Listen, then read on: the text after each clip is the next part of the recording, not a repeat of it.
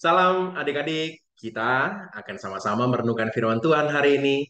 Firman Tuhan hari ini didasari dari buku renungan Star, Saat Teduh Anak Raja, terbitan Bina Warga untuk bulan Desember. Bacaan firman Tuhan hari ini dari Yesaya pasalnya yang ke-41 ayat 13.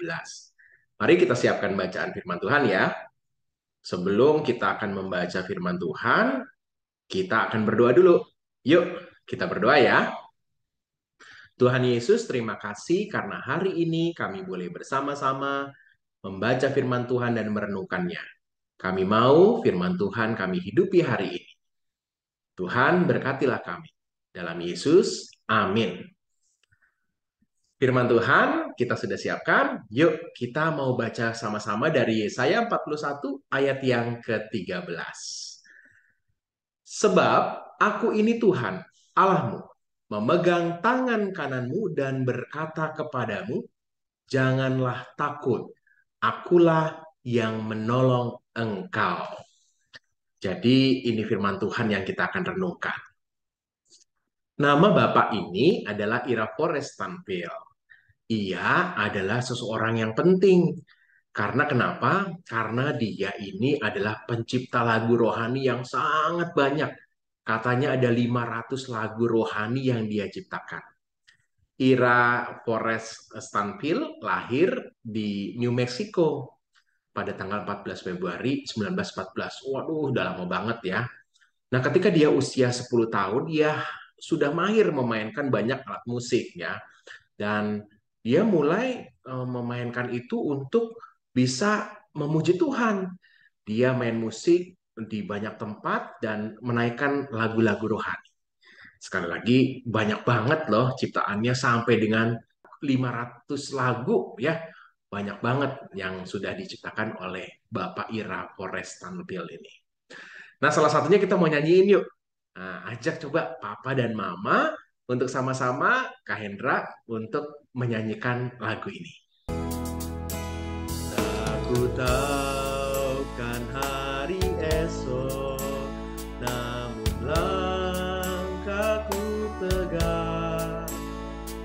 Bukan surya ku harapkan Karena surya kan lenyap Oh tiada ku gelisah Akan masa menjelang Ku berjalan serta Yesus, maka hatiku tenang.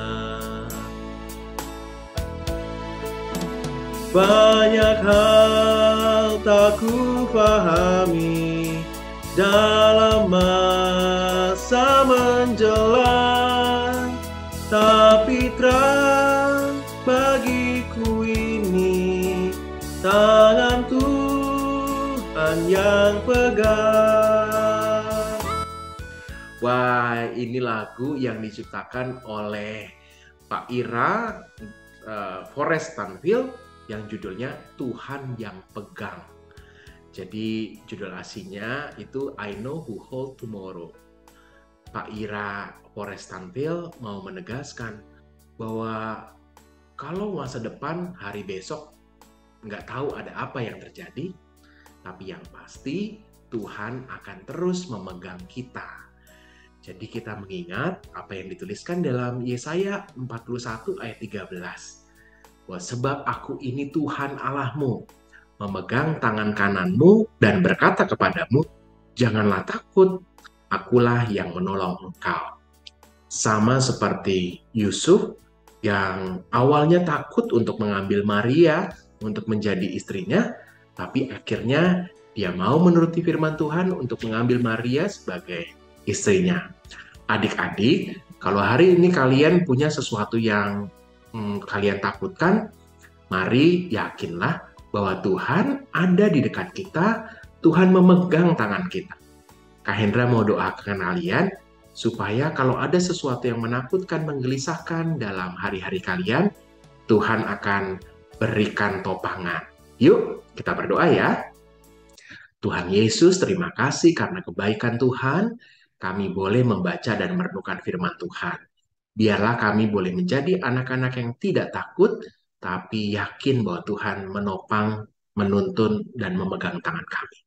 Terima kasih Tuhan, dalam Yesus. Amin.